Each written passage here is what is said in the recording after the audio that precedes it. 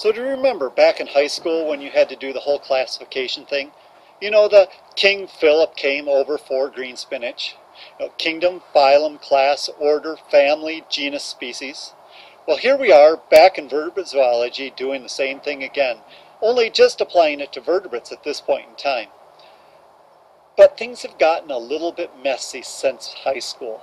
In fact, things have gotten really messy because we have a whole bunch of new techniques that Linnaeus didn't have when he developed this classification system. So today we're going to start to look at this whole idea of how do we classify vertebrates. But it really comes down to what is a species? Take a moment. Write down your definition of what do you think constitutes a species? How would you define one species as different from another species. So write it down, and then we're going to take a look at that and see how your definition compares to what scientists are saying today.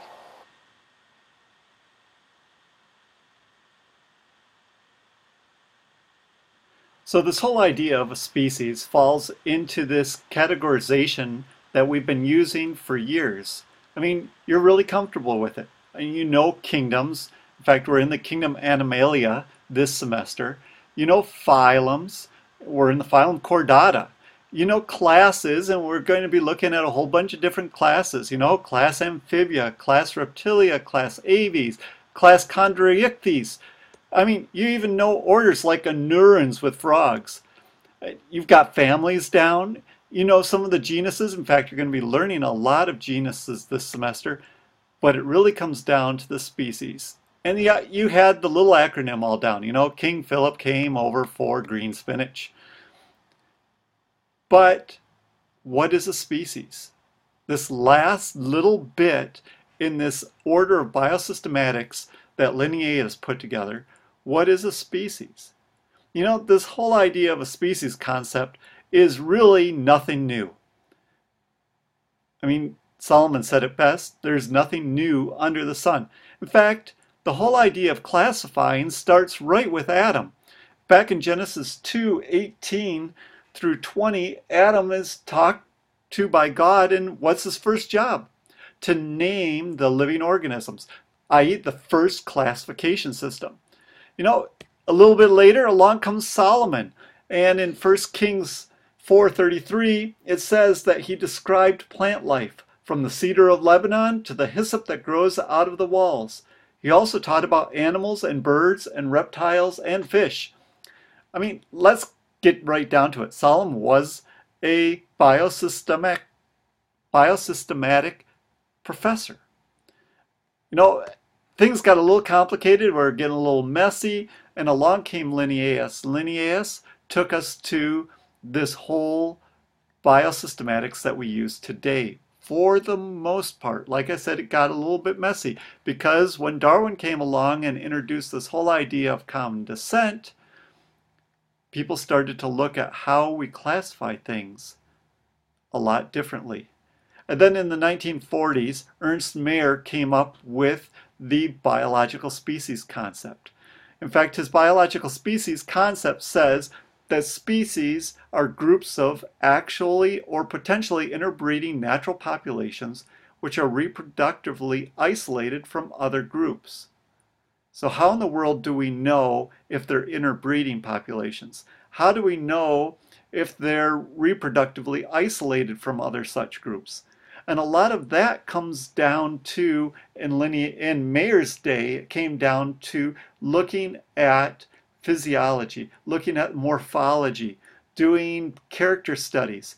You know, you really had to look at species to determine if they were potentially interbreeding or if they were reproductively isolated. And a lot of that had to deal with morphology.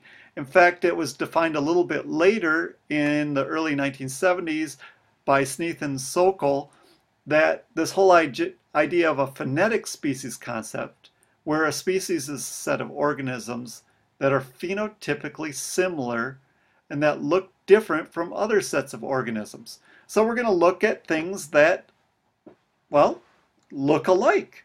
And we're going to say, do these two things that look alike interbreed? So kind of building on Mayr's species concept and adding to it. But again, we're still looking at morphology here.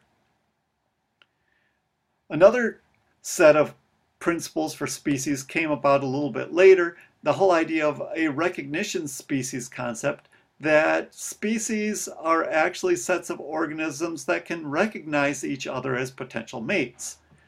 Now this widens the pool quite a bit because this now starts to allow for hybridization to take place. For instance, the barred owl, which is an eastern owl species here in Michigan. Uh, if you come into my office, you're going to see a picture of a barred owl hanging on my wall. But in my office, you're also going to see a picture of a spotted owl, which is a western, northwestern old growth species. Here's two species. If you look at the pictures, they look very similar to each other, but they've been geographically separate from each other.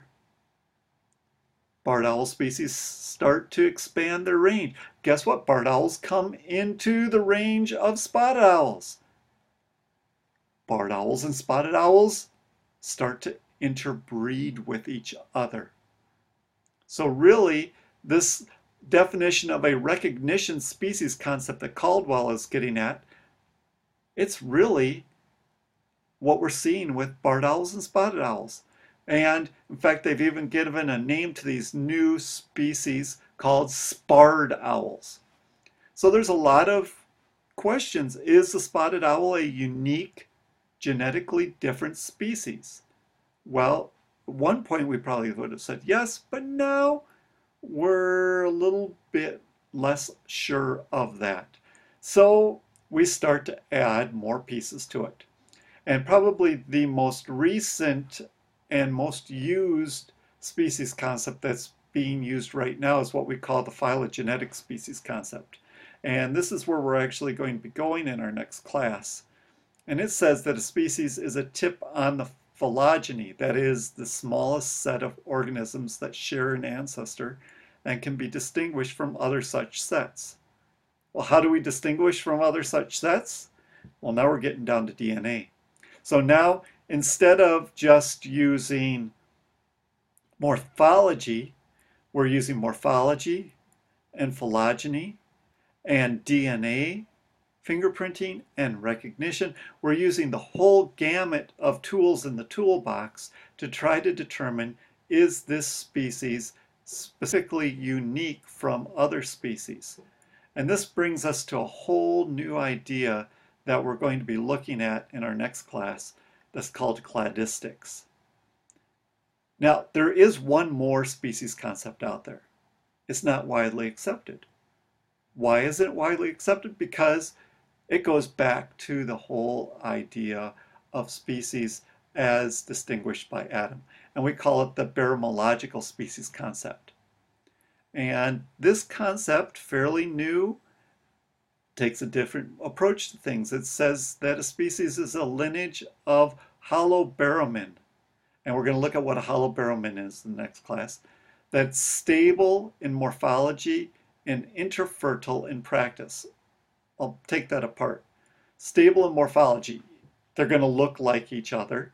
Interfertile in practice, they interbreed with each other. So we're looking for lineages that have similar morphology, but also the, the ability to interbreed with each other. Kind of a different take on Mayr's species, biological species concept.